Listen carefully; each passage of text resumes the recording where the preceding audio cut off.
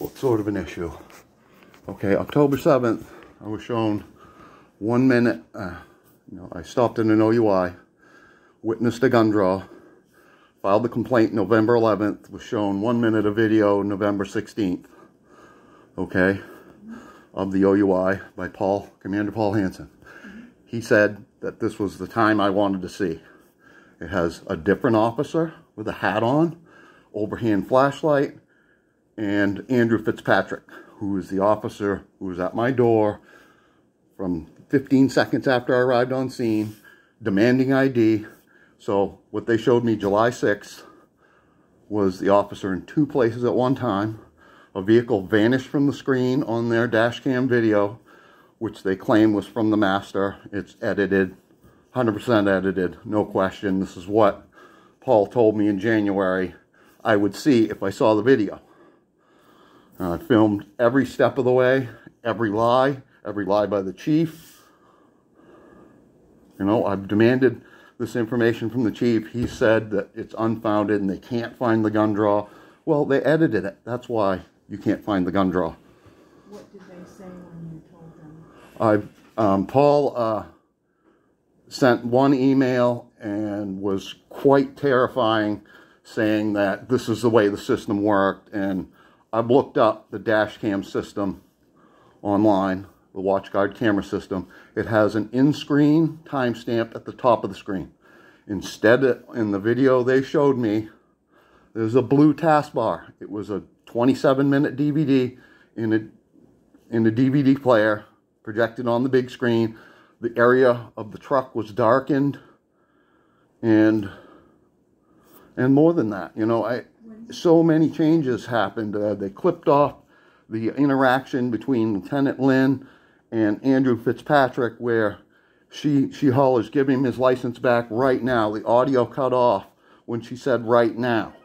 And that's the time of the edit, about 11.08. When you, was the last time you spoke with them? The manager, I believe it was uh, in May. The police? Oh, the police? Yeah. Um, probably, well, the 17th, I found a firearm in the river and turned it over to police. 17th of last month? Something like that. Yeah. Um, yeah. Oh, yeah. Paul's had multiple, uh, multiple exchanges, but now he refuses to talk to me.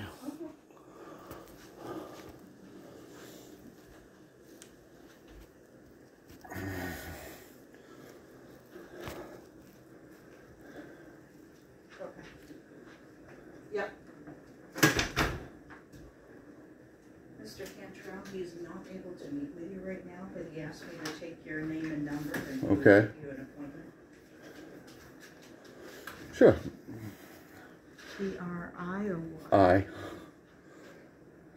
Cantrell. Yep. C A N T R E L L Okay. Your telephone number? is uh, 295 6818. I came in last week and left my phone number and didn't get a call back. Okay. I have multiple questions for the manager. And I believe that the town has helped the police cover this up. You know, the, the street light above the incident was removed one day after I posted a reenactment of it to show how lighted the area actually is, not dark. The street light's been removed. You know, I'm sure there's a town work order for that, right? Or maybe it was hit by a pole or a truck or something and knocked the pole over. There's this new pole there. Replacing. Right, but they didn't put the light back up. It just seemed coincidental that, you know, when I complained to the police that They changed them with a different, uh, a new kind of light. I see. but, Right, so it's an incidental. Situation, of course. All right. All right. You have a great day. You too. I'll give him this message. Thank you.